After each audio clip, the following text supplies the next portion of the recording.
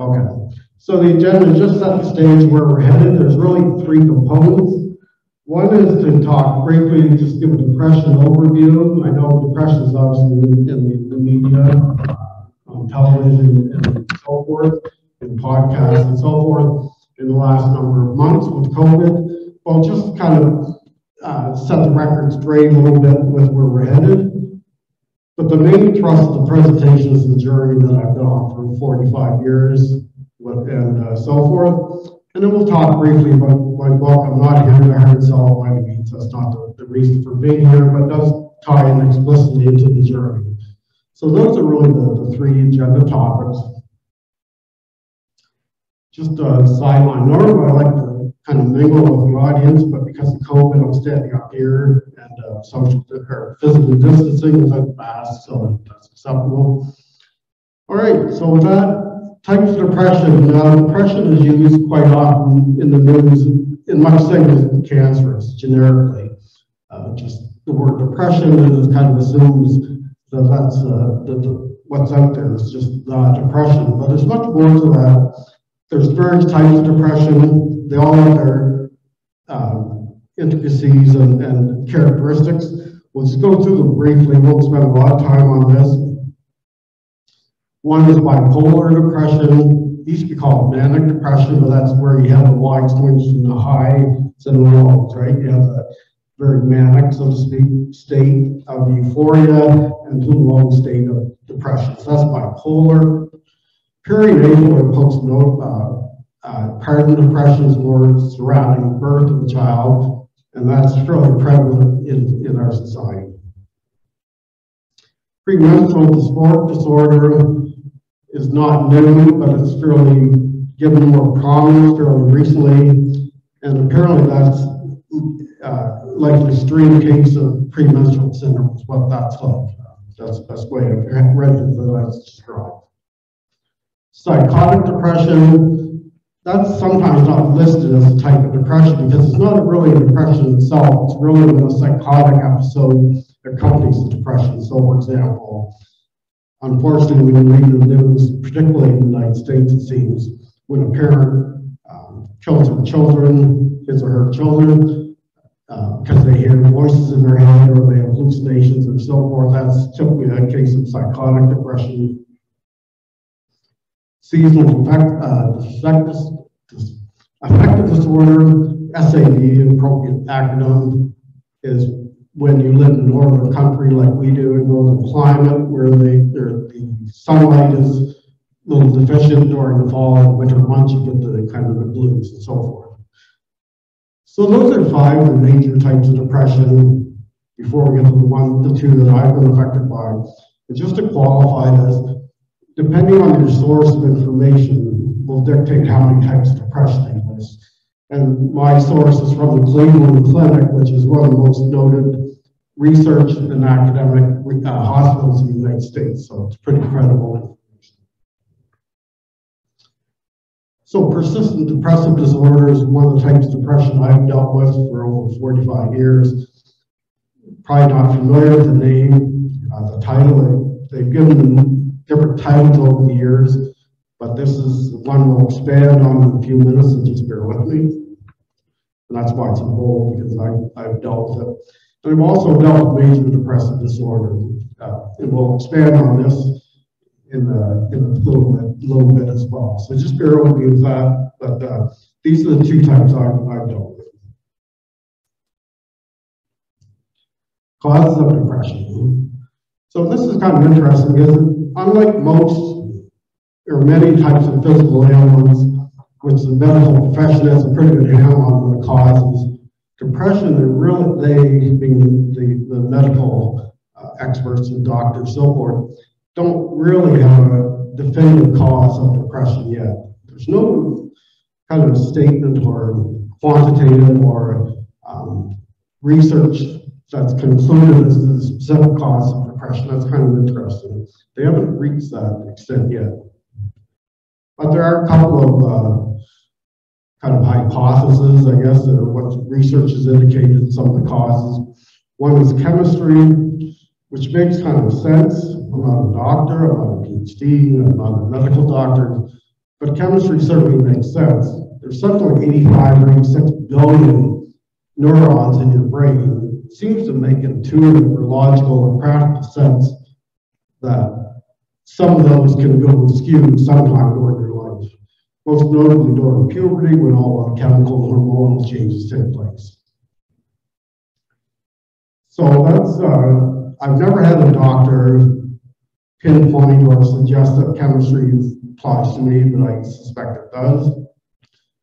Environment's another cause of depression that the, the research believe to be the case, and it applies to me. And the environment is, is kind of interesting because it's, it's kind of a bit of like an elephant in the room kind of topic. People don't really want to talk about the environment mostly because it deals with the family, right? Uh, in my case, and with most people, uh, as this pertains to, you're affected greatly by your parental guidance, right? Guidance by your uh, parents and growing up. And in my case, I, I think uh, living in a household that was frankly devoid of love or, or caring, or I guess in my terminology, um, emotionally indifference is really the term I use. That's not sure if that's a medical term or not, but I think environment had a lot to do with how I turned out, so to speak. Genetics is one that I do suspect that is the cause for depression and, in my case as well. And that makes sense because most physical illnesses are traced back to genetics. As an example, uh, Cheryl has a son who has colitis. And it kind of makes sense because his father has colitis. So the genes have passed down from generation to generation. So it seems to make sense that genetics would play a role. I, my parents, or my father, who was since deceased, but he was uh, very negative and very pessimistic, so forth. I'm sure if he had, if he had gone to the doctor, he wouldn't have diagnosed with depression at that. But unfortunately, he didn't believe in doctors and so forth. And I have two brothers that are similar. They'd be very depressed if they wouldn't see a doctor, but they chose not to. So these are three, the combination of three that are the big cause of depression and, and apply to me as well. Now, I've never had a doctor suggest this is my kind of hypothesis, so to speak, but firmly believe that to be the case. Uh, what, whether or not I'll ever find out the true cause of probably a moot point at this point. Other causes of depression, they're not molded because they simply don't apply to me. Life events can trigger depression, especially, uh, especially if you have a propensity to be inclined to depress, to be depressed. So, for example, if you have a death of a loved one, uh, divorce is another trigger for depression too. So, medical conditions, apparently if you have a term of illness, for example, and you're told you only have so long to live, that will trigger depression. Kind of makes sense. Medication, apparently some medications that are used to treat medical conditions can also trigger depression. And other factors, a host of other ones, most notably legal drugs, can trigger depression. Those are some of the causes. Like I say, there's no test to prove that those are indeed the, the, the facts, but that's, that's what the doctors have, have dealt with so far. Some depression statistics, just to give you an idea of what we're dealing with. With depression, 280 million people worldwide. It's not isolated to North America or to Western society. It's, it's all different cultures throughout the world. 1.6 times more prevalent in women than men. And the statistics, I believe this is from actually Statistics Canada, I think, I recall my source here, but um, it can be, I've seen it from 1.5 times to three times as much for women as men. You know, the numbers differ, but the main message is that it's certainly more prevalent in women than men. And it's interesting because there's two components to that. One is um, that certainly seems to be the case because women are subject to more hormonal changes in their body that can be, you know, to chemistry that can trigger the depression. So, uh, pregnancy, for example, uh, and so forth, those types of events that take place during their lifetime. Where men don't have that.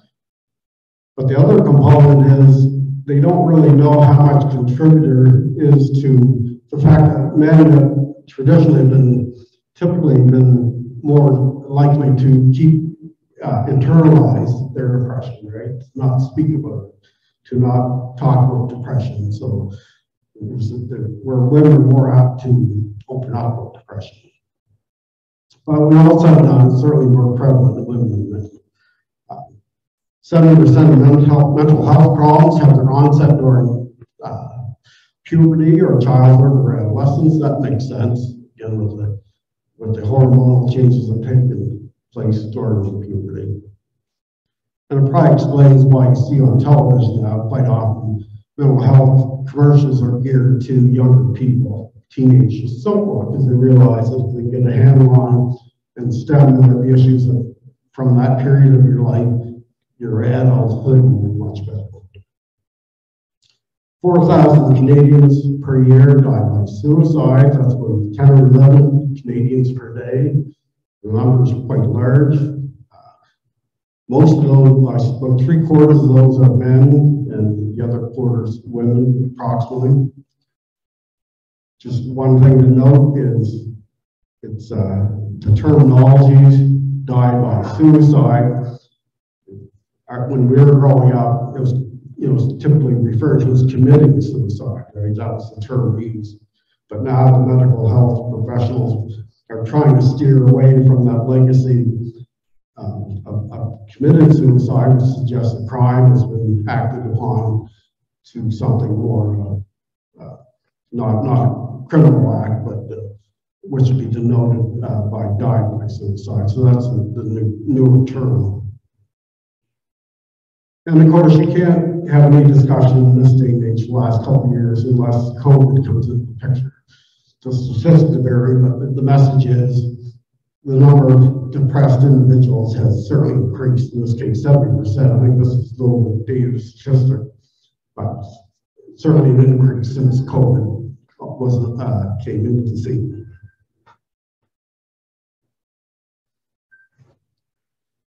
So that's a little backdrop to the so depression, just in, in really non-clinical, non-academic terms, which I, I, like to relate to the audience that way. Um, as far as timelines about my journey, the second part of the agenda is this persistent depressive disorder, kind of mouthful, traced back to 1975, I was in grade 10 at that time, just at the stage of puberty, and uh, all those changes that take place then. But the depression wasn't diagnosed until 1995. So I, 20 years I dealt depression without knowing what I, what I had. That seems inconceivable today, but in fairness, back in 1975, that was a long time ago, it was 47 years ago. You know, what did we know about depression? We didn't. It wasn't talked about. You know, the only thing I knew about depression was watching One Flew Over the Cuckoo's Nest with Jack Nicholson, right? I just knew I wasn't one of them, so to speak. And so I dismissed it. Unfortunately, I didn't have a relationship with my parents to open up talk to them about it, so I kept it all inside. 1995, it was actually thanks to Cheryl. Cheryl me one day when I was particularly bummed out and said to me flat out right, she said, Bruce, I think you suffer from depression. So she was the first one to actually, quote, diagnose it as per se as to what I was dealing with. And the reason she was familiar with depression, she, she suffered from postpartum depression herself when she had her ch- children, her first child. So she was familiar with it. I didn't have postpartum depression, but I did have depression. I went to see my family doctor, and he diagnosed it simply as depression. He didn't denote the label type of depression, but he did, uh, called depression gave me a prescription of Prozac, and if you remember, Prozac was a wonder drug at the time, and uh, set me on my way. That was kind of it. So I hoped anyway. Wasn't to be. I stayed with my family doctor for a couple more years with new prescriptions, more prescriptions. But then it kind of ran out of his realm of expertise, so he, referred me to a psychiatrist, who I still talk to today and work with today. He, he defined it as not depression, but persistent depressive disorder. In other words, he narrowed it down to the type of depression. Then at the same time, during the diagnosis, he, as a, as a depression, diagnosed with generalized anxiety disorder, which we'll talk about in a minute as well, so just bear. And then in 2006, partly because of the uh, treatments I've tried up until that point in time, from 1997 to 2006, didn't work. Let's get to in a minute too. Is uh, became pretty, you know, pretty despondent and fell into major depressive disorder. Or does that kind of make sense? Uh, those timelines. So now to explain this persistent depressive disorder, what is it? Really, the naming convention doesn't mean a whole heck of a lot. It used to be called dysthymia or dysthymia. Again, that term is not known to most people. But what it is, is depressed mood for at least two years. So it's a chronic state of depression and dysfunction, but there's no joy in your life. It's pretty gray, it's pretty blah. It's pretty blah existence, sad, lower dark blue. And probably the, best example that people can relate to is think of Eeyore, the Winnie the Pooh character, right? It's pretty, that's a pretty striking example. You know, uh, uh, Eeyore, you know, walks around, his his uh, shoulders sloped over. He's always pessimistic. He's kind of got the rain cloud over his head. That's uh, someone with persistent depressive disorder. Other signs there that you can read yourself. Only one I didn't have, I all the ones that are listed there except hopelessness. For some reason, I don't know why, I still had hope, even, uh, even during the depression. I thought something, my ship would come in, I would get better, I would just find myself, but just achieve another goal and so forth. The major depressive disorder, which is what I had in 2006, um, kind of unlike the persistent uh, disorder, this one is, more, can be shorter term, uh, but more severe. So it's an, uh, suggests here every day for at least two weeks. And some of the symptoms and characteristics are depressed mood and the big ones diminished interest. And the reason there's asterisks there is because they have to be prevalent in order to be uh, considered to be this disorder. And some of the other ones there, psychomotor agitation, just to explain that, is maybe somebody wrings their hands or fidgets or maybe some fingernails or whatever. And the big one is suicidal thoughts. That's, that's a big showstopper there. I mentioned earlier when the generalized anxiety disorder was diagnosed with, and I had all these characteristics. Um, in fact, Cheryl and I talked this one time and, and never had a correlation between the disorder and depression, but somehow, sometimes we wonder the, the anxiety creating depression. That we don't know, but we just conjecture. But one thing is uh, anxiety is it's a theme the twin depression. Why? Because quite often they use the same sentence.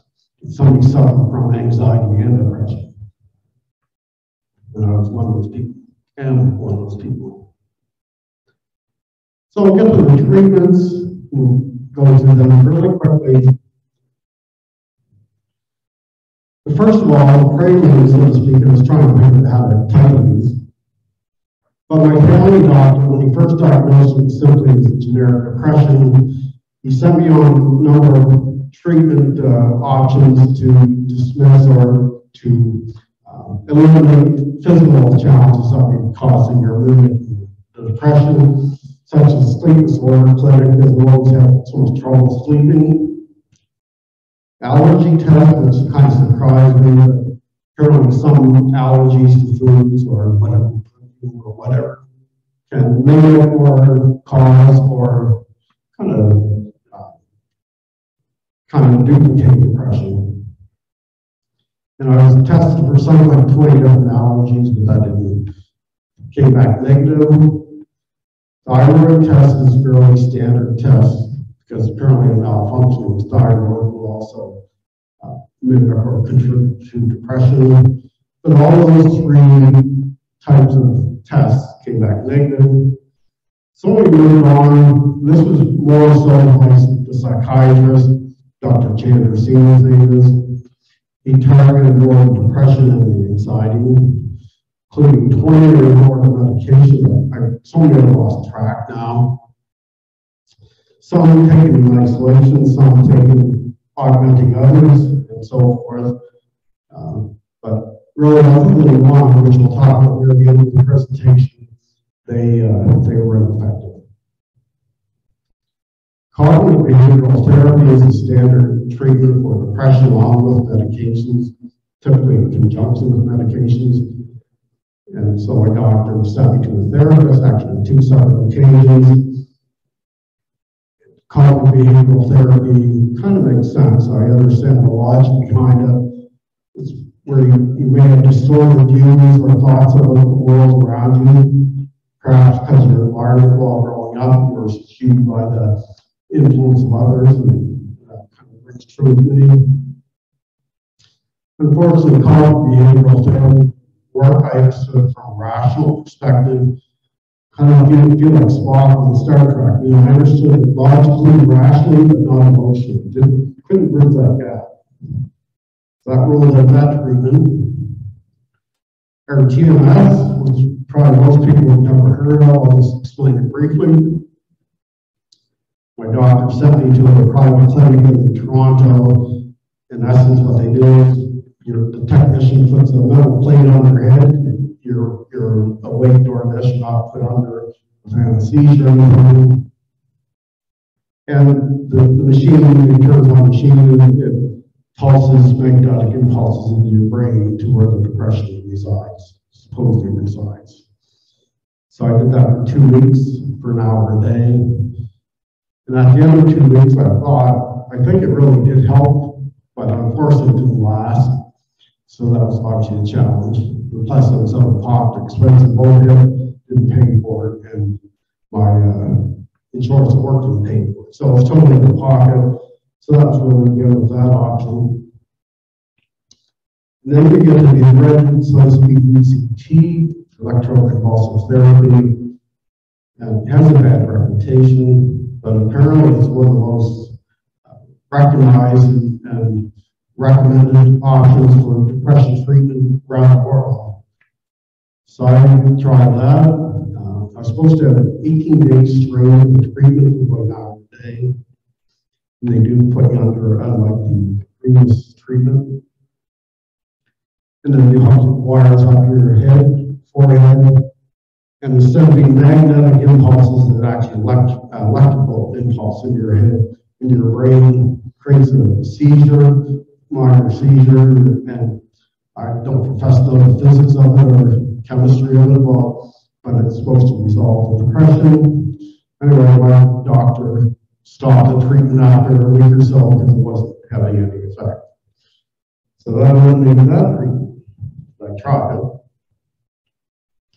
Ketamine is kind of a more recent option I tried. Ketamine, for those who may remember, was actually hippie drug in the 60s, has been around for a long time. And most recently, it's been used as a date rape drug. But when used medically, it, it's been shown to be very effective for depression. In fact, it was on the cover of Time magazine a couple of years ago as, one of the most promising treatments for depression since Prozac. The problem is they don't, they can't get to last, the, effects last. And uh, in my case, I don't know if it really worked at all. I don't think it did. I went for three or four treatments, took about an hour to administer by IV, and that was the end of it, but it didn't really have any effect on me. But by far the biggest treatment, professional treatment I tried is deep brain stimulation. Most, you know, everybody's aware of a pacemaker from the heart, right? That's been around for a zillion years. this is a pacemaker for the brain.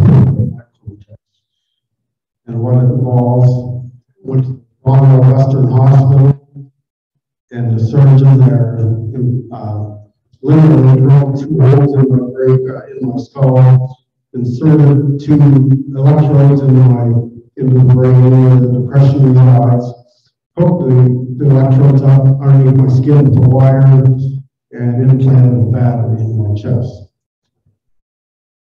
So that was deep brain stimulation. You may be aware this is approved for Parkinson's disease to reduce tremors. Apparently it's very effective for that. So a lot of researchers are trying to branch out to see if it'll work for. So it's a longer run approach. It's not the surgery itself. The surgery is about five hours or something like that. But between time I applied to have the treatment, uh, the research done to the time of the actual procedure, was three years or something, with holdups for funding, government bureaucracy, uh, getting doctors in place and so forth. Dr. Andres Lozano was a, was a specialist, was a surgeon, very renowned surgeon. He was uh, on 60 Minutes actually interviewed around the same time when I was having the procedure done. So they kind of reinforced that I kind of had the guy, so to speak. Just an example or picture of the deep brain stimulation process. Quite a large, how to turn crown or whatever, not for your head, keep it straight. So your head doesn't move while putting the electrodes. And uh, but it's interesting to wait over this whole process was really threw me off. Kind of reminded me of the kind of Lecter scene Silence of the Silence of the Lambs right there. But anyway, it's kind of interesting. But anyway, the result is I thought it worked at first, but I don't believe it did now in retrospect. The only remembrance I have of it, I saw the two bumps on my head where did surgery and plus the scar they cut open my scalp. And that's it. The doctors who were involved in the surgery have moved on. So I have the, the, uh, the uh, pacemaker in my chest. It'll stay with me till the day I die, apparently, which I thought was a big deal because if you have hip surgery, you, you have the metal parts in your hip until they die too. So. But when all is said and done, my psychiatrist in Chatham told me flat out right one day, not long ago, said, Bruce, you're the most treatment resistant patient I've ever had. So I didn't know whether not taking that of honor or what I it. now, one thing I just want to take a minute to explain is that even though the professional measures were particularly effective, I didn't just rely on the medical field to help me get better. I took a number of self-help measures myself, just go through them briefly. Even before it was diagnosed as depression, so back as early as grade 10, when I knew something was wrong, I didn't know what it was. And, you know, sometime after that, it was 20 years to 1995. Um, I took things upon myself and tried to, to, to better myself, to improve myself. The major thing I did was move problems, not just once, not twice, but three times. So that's interesting. In, grade 12, in grade 12 in Halifax, Dartmouth actually, uh, I finished high school totally lost. So I decided, you know, to find a flight response. I chose flight I moved to Edmonton to try to find myself. I hope my ship would come there. So I moved over there, absolute disastrous year, and came back. Went to university, got to university, but that was a struggle. After university, I was still very much displaced. Moved Edmonton again, second time. Then came back, still totally lost. And then got myself a little bit together, and started working as a career in the credit union system. But, but then in nineteen eighty-seven, I was still kind of a miss the way I felt. Still didn't have anybody to talk to. And I, that's when I decided to Chatham. Now, at the time when I moved to Chatham, I did it under the pretext that was for economic opportunities, as, as a lot of people, many, so many Easterners have done over the years. But that was just a cover for the fact that I was trying to find myself. But then when I moved to Chatham, I made up my mind that I'm not, I'm gonna choose funding over flow. So I stayed in China for thirty-four years, so anyway, uh, I fulfilled that, I guess. Then after the diagnosis in nineteen ninety-five, I set on a mission to try to improve myself along with professional measures. First thing I did was read self-help books, a lot of them on the market. At that time, was a big bookstore, uh, before online books came into being. But it was a little disheartening because you'd read self-help books, and some of them were, uh, you know, seven ways to beat the blues kind of thing. Uh, that'd be title one of. But they're uh, kind of, I won't say superficial, but I, I remember thinking, you know, step one, to call a friend, you know, or whatever. Think, or step two, you know, walk ten minutes around the block, get exercise. But I remember thinking, you know, if that solves your problem, then you don't have much. Remember thinking that way. In fact, I've read self-help for twenty years now result.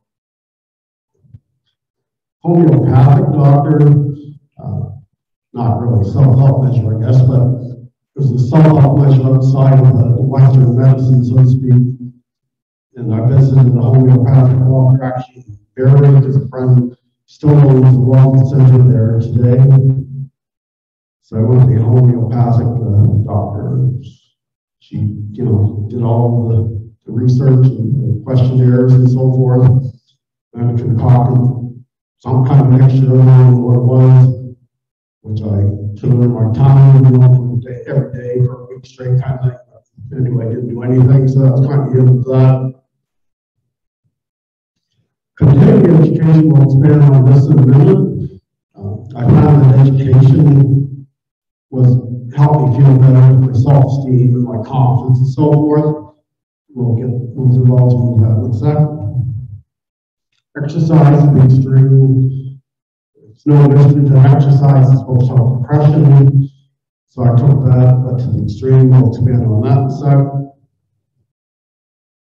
Then writing the memoirs. So that was an interesting one. What started off as, as option, as therapy, a therapeutic response to depression, uh, actually ended up in culmination in my book that's uh, available now.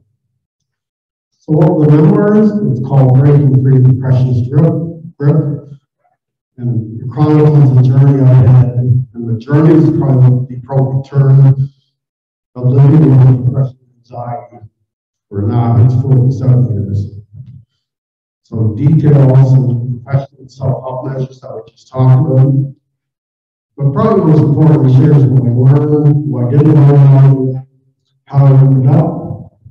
Interpersonal issues are many, and role friends and family played. So it's a sort of a sharing of the story. The audience for the book is anybody with depression. We talked earlier, one of the earlier slides, being most people worldwide who suffer from depression. But when you have depression, it's one of the loneliest feelings you can have. You feel as if you're the only person that has it to deal with. And that's not the case. So this would help somebody who's been there. Now, somebody with depression, it's very difficult to understand what someone's going through when they have depression. Uh, my boss, where I used to work, uh, when I opened up to him, it was a very difficult conversation because he simply couldn't understand his life was pretty strong, and pretty robust, and, and uh, no regrets kind of thing. So he just couldn't get get this concept of depression. Hopefully, this book will help you understand what it's all about, or just anybody Who wants to know about depression? It's pretty difficult when you read in the, in the media about mental health. There's quite a number of advertisements now for mental health, but they don't really divulge what the issues are, what the, what the feeling was like. So this book should help.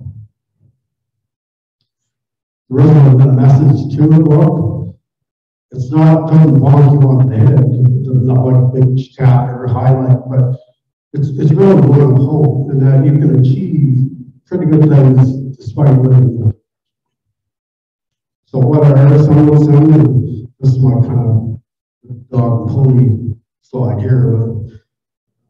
So despite depression, some of the things that I to think I've accomplished, I obtained a CPA designation a number of years ago. Because I work in the financial sector, I obtained my certified financial planner designation, although wasn't really required for the job at the time. And also, just recently, well, a few years ago now, I obtained my MBA, which is kind of interesting because I didn't need for my career. I had to kind of end my career, so it wasn't a career, it was more of a move to help me feel better, self-esteem, confidence, and so forth. I, well, I, uh, I found that achieving well, doing well in school helped me feel better. So in that sense, it's helped. I talked about their, uh, exercising. I carried it to the extreme. After age 35, I was actually close to 40. Um, I started training for as a new resolution, actually. And then I completed the next year or two five marathons, including the New York City Marathon and Chicago marathons. And that wasn't enough. I thought I'd do something else, you know, I leave time out will help me feel better. After age 40, I got triathloning. In fact, a month ago, from age 42, I participated and finished half Ironman triathlon.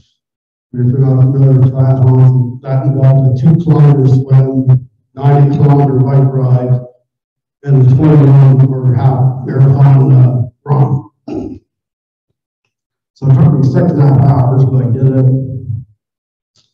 Um, but then I realized some of the kind of appropriate metaphor, or whatever you call it, analogy, but uh, the finish line kept on moving back. Whenever I accomplished schools, education, marathons, so forth, triathlons, you know, I thought I'd be satisfied, but I wasn't.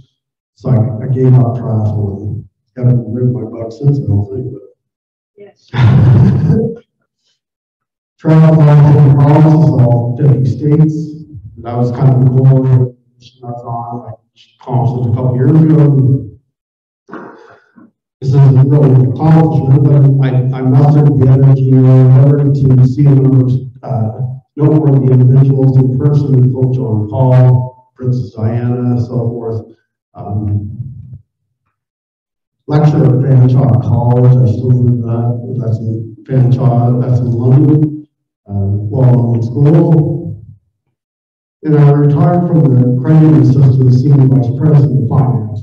It was a billion dollar union when I retired three years ago. So I like to think that I've accomplished quite a bit despite the depression, but at least to kind of a question to ponder, not as would I achieve these feats if I, if I didn't have depression. Because a lot of these goals I had were to help me feel better. So if I felt better, when while you know doing this travel getting the high level education and so forth? And the answer is probably not. I probably would have contented with my life and just been satisfied. That would have been the end of it. So bringing up a kind of extension of the question of ponder, and that is, should I, uh, is there a benefit to depression? And, you know, when you think that, it's kind of sad to think that kind of there is because you know, we accomplish these things I'm kind of proud of if I didn't have the depression. Kind of odd way to look at it. It's real.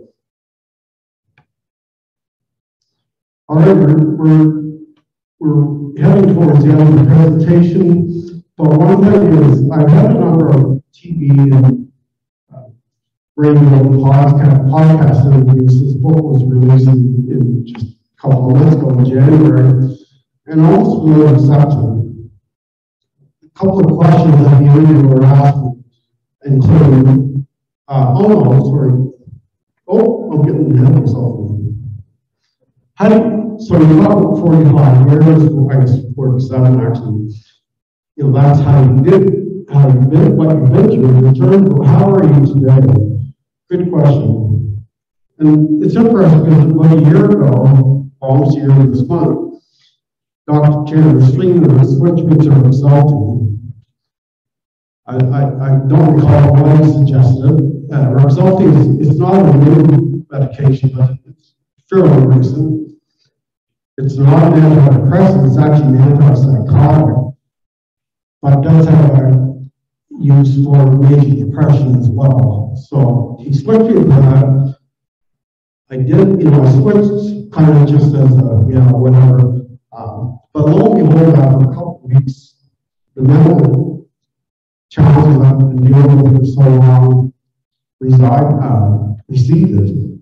Um, so the amount what you use Rexulti is exactly what you've done.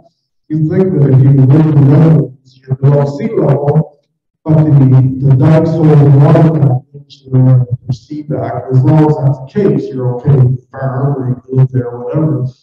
So I feel like is doing the same thing. I know the depression is there, it's holding it back.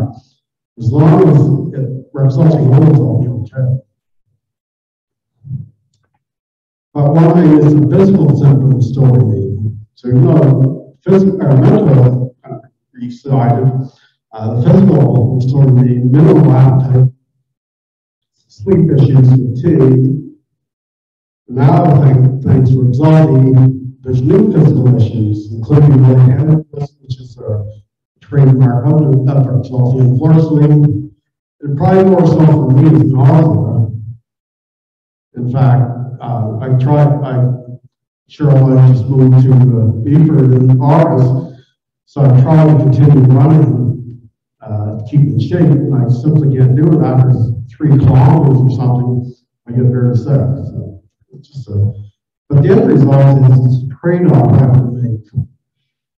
My mental health versus my physical health, and I made conscious decision I'd rather my mental health, even if it's uh, expensive, right? Physical health. Kind of not the trade-off there, but shows the extreme of depression. Another question that the interviewers have asked me uh, typically is what got me through the, the, the 45 years, especially tough times. One is the ethics and integrity. I feel as if I have pretty strong ethics and integrity. I'm not sure where that stems from. But I've, I've kind of relied on that as some comfort in much the same way people religion or fall back on religion at times get tough. So I of do the same thing with ethics and integrity. In fact, Dr. Martin Luther King Jr. is one of the idols. He had a quote, the time is always right to do what's right. I like to think here for that, that provides me some level of comfort. Friends got me through, but not friends in the traditional sense. If you think of friends, it wasn't was uh, Mr. Popularity or Mr. Social Butterfly growing up. It was friends as in kind of abstract logic. When I had little confidence, low self-esteem, and felt displaced, I wondered who it was. So it helped me reinforce or to provide some level of comfort. I looked at friends and I thought, they're good people, they like me, so my association logic, I must be okay. So that's kind of odd way to look at it, but it's true. Now, be remiss about thanking uh, Cheryl and her family for getting me through. I should just compound or expand on this. It was as if Cheryl her family, her brothers, sisters, uh, her kids, uh, so forth, but Cheryl didn't call me, she didn't pity me, she didn't make me out to be a victim. Um, she was there as a pillar of strength and it showed me, proved me that something I, I had to live up to, so that helped me get through. And I have to show these pictures, a picture of our daughter Hannah, uh, taken right down here in Thornbury. What doesn't show is, let's just take the summer, what doesn't show is like minus ten that day. So come on, Jack, I come up to smile. Smile, keep the picture of it. One of the, uh, editors asked these recommendations. This one's kind of one because these aren't showstoppers by any means, but they're worth, uh, talking about. One of them is if you think you have depression or anxiety or some other mental health issue, accept the fact. When Cheryl first confided in me she thought I had depression, there was actually some relief. I felt like a, uh, prisoner who's been on run for so long, and there's some almost relief when was captured by the kids that are lower. Uh, I felt the same way, uh, just felt some relief, so I think you feel the same way if you suffer from depression and your doctor tells you that, that's further. You then move on to the recovery phase. Learn you know, there's no excuse in this day and age for technology not to know what you're dealing with. I Googled depression just out of interesting, uh, actually as part of this presentation preparation. And there's four billion websites devoted to depression, not million, but billion. So it's out there, you can get the information. Keep up the hope. I say that fully understanding that hopelessness is a trademark of depression, but you have to keep up hope. You have to be able to get out of bed, force yourself to get out of bed, if not for your own sake, for your family's sake. Also, be proactive. Our healthcare system is actually overwhelmed with COVID, especially since COVID. But so if you don't keep up on your doctor's butt, um, he or she will, will, you know, kick you off the treadmill, and that's up to you, but you have to take responsibility for your own course of action. There were a number of times when Dr. Chin was seen him, I'm sure I going to close my I Just thought I was fine, and I wasn't. I kept on and uh, thankfully, you have to do the same thing.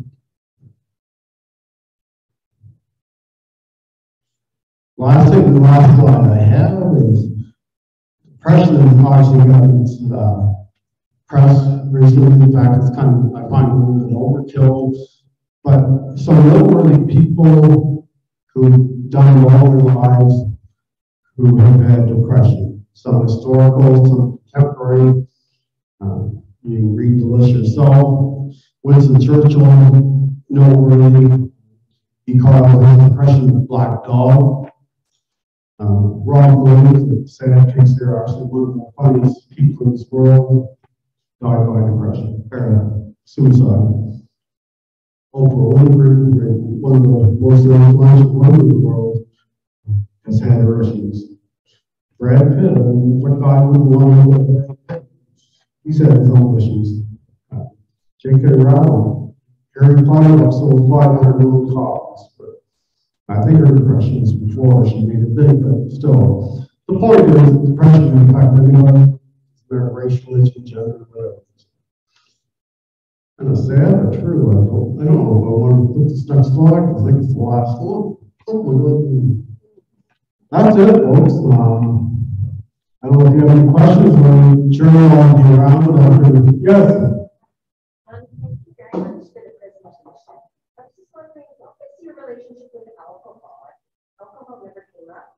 And I understand that a lot of people use that self-medicate. Some people abstain, or were able to tolerate it, or what was your right, good, good question. Uh, question for those people in Zoom is not really, but just make sure I understand. Alcohol is quite often associated with depression, but it can become conversation, how do I deal with it? Does that kind of recap it? Yeah, great question. Um, Alcohol, I was alcoholic, as far as, you know, as far as I, my definition of alcoholism, but I, I struggle with alcohol the years, that's self-medication, no question. The problem with alcohol, uh, especially in university, is a big challenge.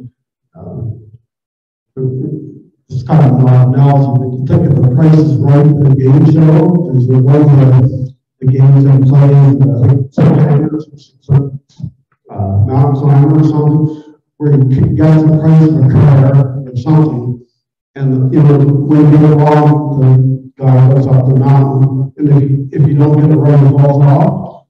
Using that analogy, I drank when I was out on a Saturday night or whatever. um, As a way of self-medicating, the way, and feeling just isolated myself in the world. But, you know, but I wouldn't know when to stop, and then I get to the cliff all off, next morning, wake up, oh, God. But there's a real, real question, um, one of the friends, uh, mentioned the boat died by suicide, and he had challenges with alcohol way worse than I had. And, you know, I, I so firm believer alcohol wasn't the source of his problem, it's just what fueled, uh, the frustrations to, to, to the surface, so. But I think long-winded answer to your question, but does that kind of make sense? Yes, anybody else? No? All questions with depression. All right, I think that's it. Um, if you're interested in what the siren cell, maybe our books back here, I'll sign them for you gladly. uh, And uh, show a lot of you around. Uh, I've done a number of these presentations up till now. And it's amazing how many people come up and talk to me afterwards. Say, you know, my brother has uh, depression or I have depression. It's just an incredible number. So it's real. All right, thank you. Thank you.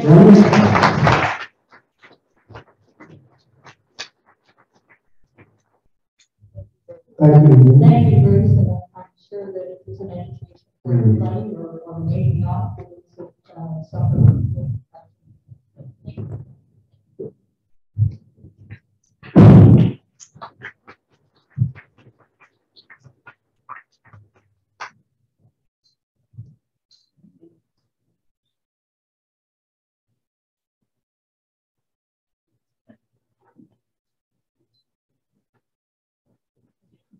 He doesn't say so, but there's a lot of funny stuff in that book. Just like